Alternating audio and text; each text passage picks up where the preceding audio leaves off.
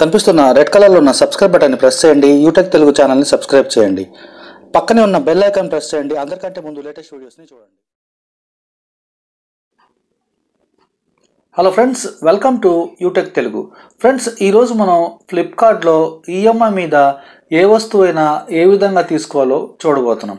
దీనికోసం మీరు ఈ వీడియోని స్కిప్ చేయకుండా చివరిదాకా చూడండి ఫ్రెండ్స్ ఒకవేళ స్కిప్ చేస్తే మధ్యలో పాయింట్స్ మిస్ అయ్యి మళ్ళీ కష్టమయ్యే అవకాశం ఉంటుంది.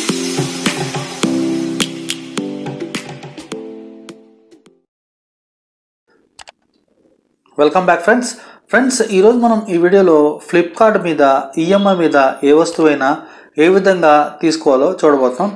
ఇంతకంటే ముందు మీరు ఛానల్ని సబ్స్క్రైబ్ చేయకపోతే సబ్స్క్రైబ్ చేసుకోండి ఫ్రెండ్స్ ఆల్రెడీ సబ్స్క్రైబ్ చేసుకున్న ఫ్రెండ్స్కి థ్యాంక్ యూ ఫ్రెండ్స్. ఫ్రెండ్స్ ఈ వీడియో మీరు స్కిప్ చేయకుండా చివరి దాకా చూడండి. మధ్యలో మిస్ అయితే పాయింట్స్ మిస్ అయ్యే అవకాశం ఉంది. దీనికోసం మనం ముందుగా ఫ్లిప్కార్ట్ యాప్ని ఓపెన్ చేసి అందులో మనం ఏ వస్తువుని కొనాలి అనుకుంటున్నామో దాన్ని మనం సెర్చ్ చేయాలి. చూడండి ఇక్కడ నేను ఎల్జీకి సంబంధించిన ఒక ఫోన్ నేను సెర్చ్ చేశాను. ఎల్జీ క్యూ సిక్స్ అనే ఫోన్ నేను కొందామని చెప్పి ఈరోజు మీకు డెమో చూపిస్తున్నాను. సో ఆ ఫోన్ నేను సెర్చ్ బార్లో సెర్చ్ చేసిన తర్వాత ఈ విధంగా ఇక్కడ కనిపిస్తుంది మనకి. ఫోన్ ఓపెన్ చేసిన తర్వాత మనకి ఈ విధంగా మనకి చూడండి. ఫ్లిప్కార్ట్ ఓపెన్ చేసిన తర్వాత మనకి ఫోన్ గురించి డిస్క్రిప్షన్ ఇచ్చారు. దాన్ని క్షుణ్ణంగా మనం చదువుకోవాలి. ఎందుకంటే మనం ఏ వస్తువైనా తీసుకుంటున్నప్పుడు దాని గురించి మనం పూర్తిగా అవగాహనకి రావటం చాలా చాలా ముఖ్యం. సో ఈ విధంగా మనకి టర్మ్స్ అండ్ కండిషన్స్ ఫోన్ యొక్క ఆప్షన్స్ ఫీచర్స్ అన్నీ చూసుకున్న తర్వాత మనకి ఓకే అయితే కనుక మనం చూడండి ఇక్కడ కింద మనకి కంటిన్యూ ఉంది చూడండి అక్కడ మనం కంటిన్యూ అని చెప్పాలి. ఈ ఫోన్ యొక్క ఖరీదు పదకొండు వేల ఏడు వందల తొంభై ఎనిమిది రూపాయలు అని చెప్పి చూపిస్తుంది. ఈ టర్మ్స్ అండ్ కండిషన్స్కి మనం ఓకే అని అనుకుంటే కనుక మనం కంటిన్యూ బటన్ని మనం ప్రెస్ చేయాలి. చూడండి మనం.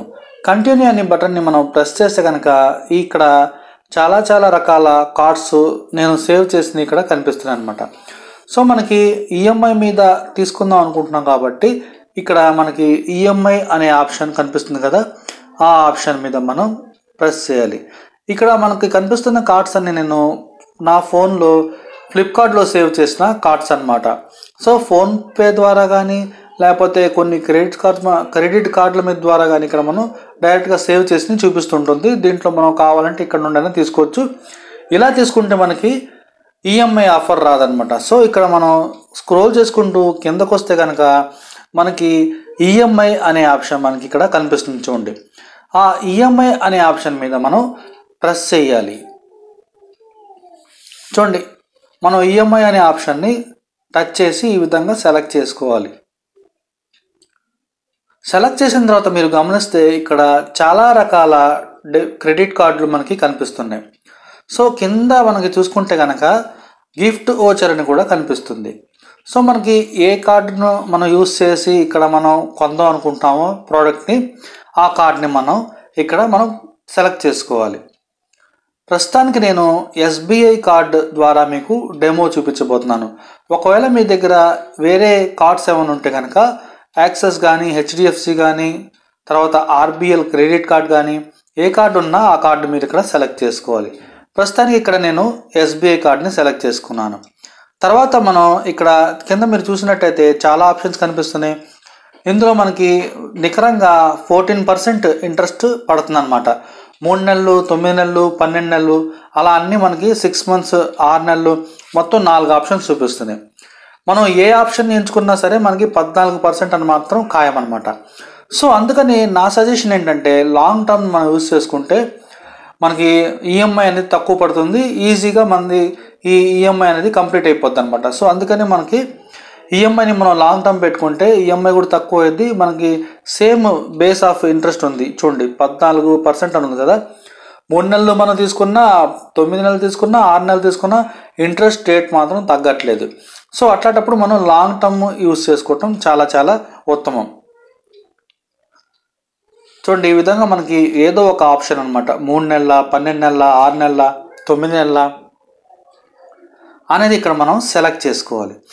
సెలెక్ట్ చేసుకున్న తర్వాత చూడండి ఈ విధంగా కింద మనకి మన కార్డ్ నంబరు తర్వాత కార్డ్ ఎక్స్పైరీ నెంబరు తర్వాత కార్డ్ సివివి మనం ఎంటర్ చేస్తే కనుక మన ఫోన్కి ఒక ఓటీపీ వస్తుంది.